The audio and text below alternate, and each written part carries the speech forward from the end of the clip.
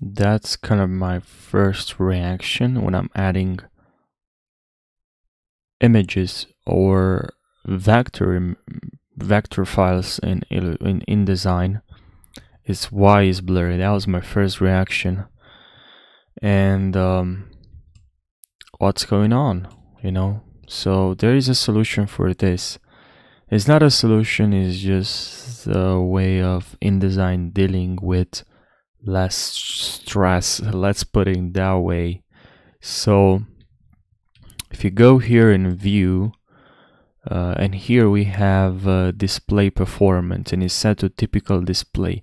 You can set to fast display which this will help to speed up your computer your machine if you have a computer that's not really powerful it's not really doesn't have that many uh, gigabytes that much RAM that's my that much RAM in that situation.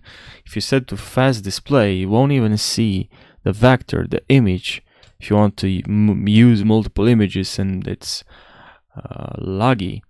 But if your intention is to see the image uh, at the highest quality possible is to set this to high quality display which now if you look at this it looks really really good.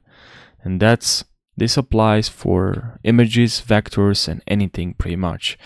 But every time you open uh, InDesign you have to set this I believe so. But you can go to preferences and here in in general uh, we have here the option to display performance. Make sure this is set to high quality high quality. And then you don't have any problems to reset to rechange the setting every single time you open InDesign now I'm also going to show you in this video how to change a video sorry image from white to from color to black and white. So let's go here in file click on export and uh, to place. And here in place I'm just gonna select the colored image. Now I have here an image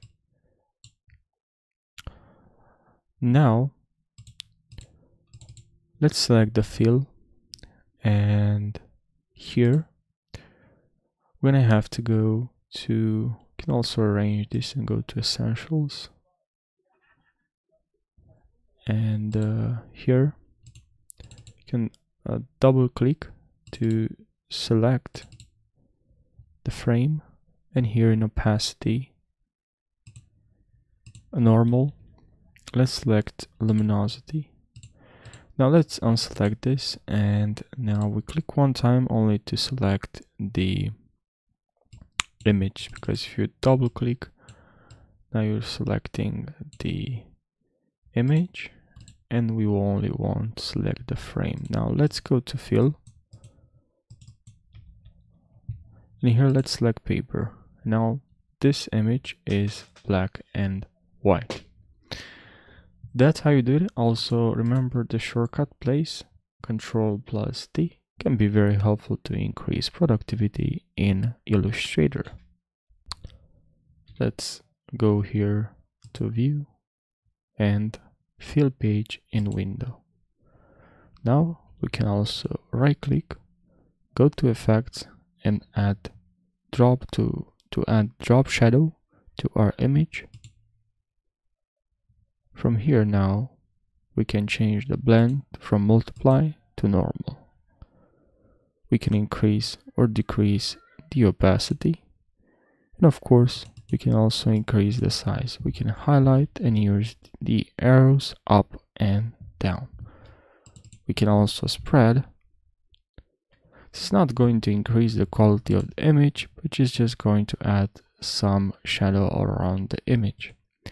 Now, of course, you can right click here and add multiple effects but that's not going to affect the quality of the image. You're just adding some effects. You can also edit with and then you're editing with Adobe Photoshop in InDesign. If you want to add some make some changes just edit the photo overall.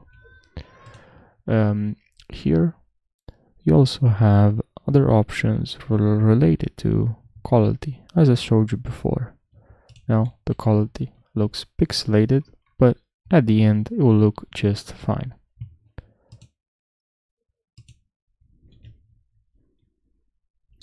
And for those that don't know in InDesign to select an image, we can double click and now we move the image within the frame. We can uh, resize the image, we can stretch the image, that's within the frame. But if you only want to move, now just click outside. Now just click one time and you are moving the frame and also the image at the same time. You can also go to view here and here you have extra and here you have content grabber. And you can see the content grabber usually is in the middle. And you can click on that. But for me it's easier if I just double click and now I can move the image within the frame and um, you also have here we have in uh,